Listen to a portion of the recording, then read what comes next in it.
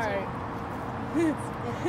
we sorry we, we, we cut it back on with Copper going to the bathroom, but we just do have. Um, does this one have a name? This one just standing there. Copper had a very full bladder.